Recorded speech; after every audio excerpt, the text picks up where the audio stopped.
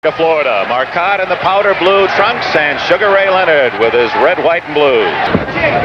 Right now, I see Sugar moving around quite a bit. What he's doing, he's trying to get the man, get the break. Got six rounds on Friday. I don't think he missed five punches in five.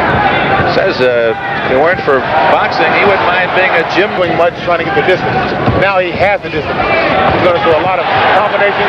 By Leonard in the final seconds of round one. Round two in a big house at the Convention Center, Miami Beach. In case you just joined us. Marcotte threw a good punch. Sugar Ray leaned back and countered with a jab. Oh, that left hand land.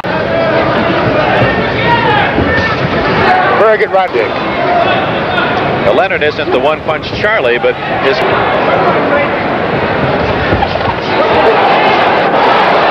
Three.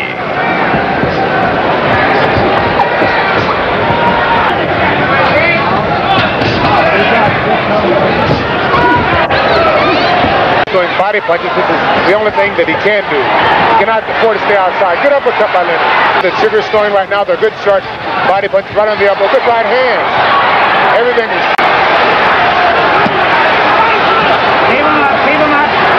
But Leonard bearing down, constantly pressuring Marcotte.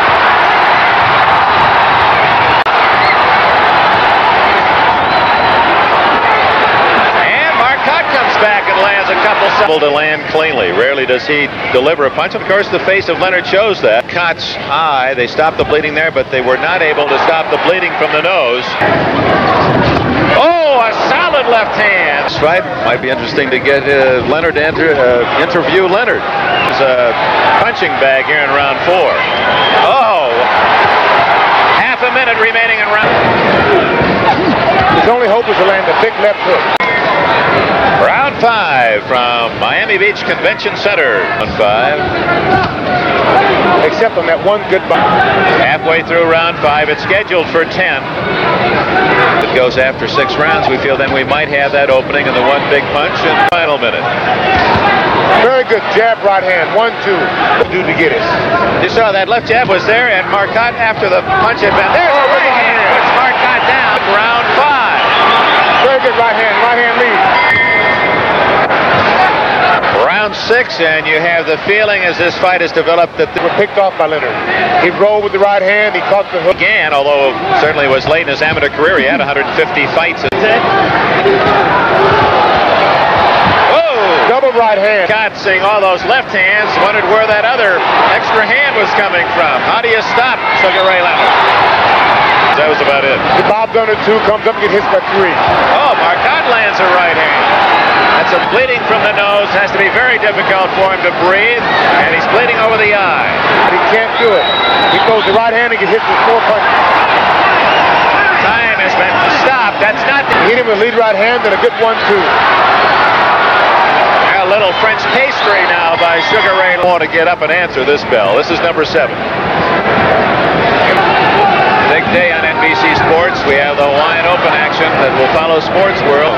Certainly rooting him back to answer the next bell. That's true. Bob the present time is very sick. Ah, right eye's bleeding bad, but then again, Sugar's throwing a good right hand. That was a good leaping hook by Sugar. But Marcotte can take a punch. When a man is totally outclassed, I think it's beautiful him to keep trying.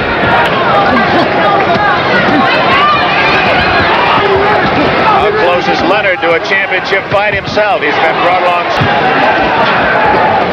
Round eight. And the doctor, after examining Pipino Cuevas uh, or Wilfredo Benitez, the two welterweight champions. Wouldn't that be a match? Leonard against Cuevas, the way that Cuevas will take four punches to land that one big. That would be a good fight later on. I think it's no question about what Leonard's going to have. With punches, he's going to make up for that extra strength.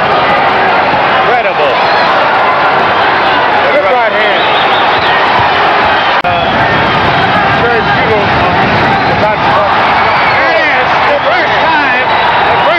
Out. He does survive the count. The winner is Sugar Ray Leonard. They've stopped the fight.